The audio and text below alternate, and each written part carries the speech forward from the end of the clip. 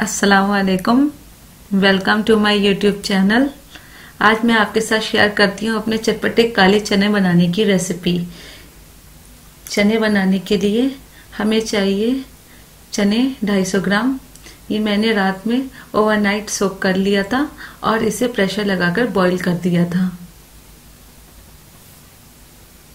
देखिए, हमारे चने बिल्कुल अच्छे से बॉइल्ड हो चुके हैं। ये देखिए, मैंने दो मीडियम साइज़ की प्याज ले ली है, जो फाइनली चॉप्ड है। ये देखिए, मैंने दो टमाटोज हैं, ये भी फाइनली चॉप्ड ले लिया है। ये हमारे दो से तीन ग्रीन चिलीज हैं, ये भी फाइनली चॉप्ड है। ये देखिए, मैंने अपना मस्टर्ड ऑयल ले लिया है, दो टेबल स्पून ये हमारा जीरा है हाफ़ टी स्पून ये हमारा सॉल्ट है हाफ़ टी स्पून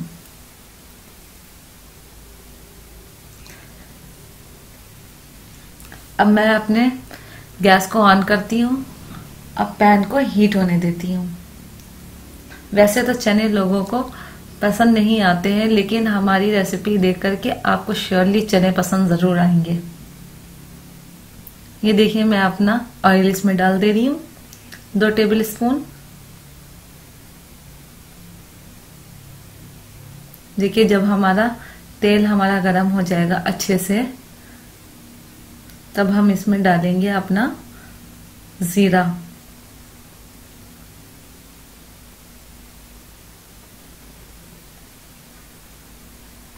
देखिए। अब हमारा तेल गरम हो चुका है।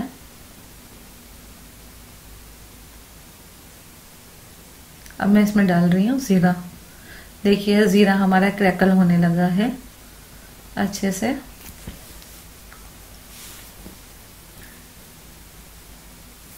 अब ये देखिए, मैं अपनी फाइनली चॉप प्याज भी इसमें डाल दे रही हूँ और इसे हम अच्छे से सॉटे कर लेंगे।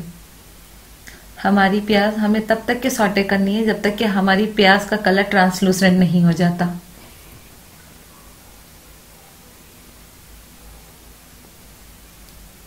और ध्यान रहे, हमें इसे स्लो फ्लेम पे सॉटे करना है। हाई फ्लेम पे हमारी प्याज जल जाएगी। ये देखिए, हमारे टोमेटोज हैं। ये भी हमें इसमें डाल देना है। इसे भी अच्छे से हमें सॉटे कर देना है। देखिए, प्याज, टमाटर, जीरे, इसकी कितनी अच्छी खुशबू आ रही है। अब ये देखिए, हम अपने ग्रीन चिलीज भी इसमें डाल दे रही हैं। इसे भी हम अच्छे से सॉटे कर लेंगे। दो से तीन मिनट के लिए अपना मैं सॉल्ट डाल रही हूँ। और मैं अपने ये बॉइल्ड चने भी डाल दे रही हूँ। इसे भी हम अच्छे से सॉटे कर लेंगे।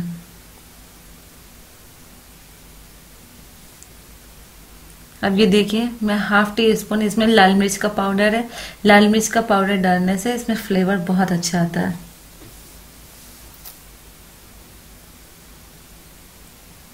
ये देखिए, हमारे पास भुना जीरा पाउडर है। ये भी हाफ़ टी स्पून में डाल दे रही हूँ। इसे सारे मसालों को हम अच्छे से इसमें मिक्स कर लेंगे। अब हमारे जब मसाले मिक्स हो जाएँगे अच्छे से, हम इसको दो तीन मिनट के लिए फ्राई करेंगे। अब हमारा चना रेडी हो चुका है।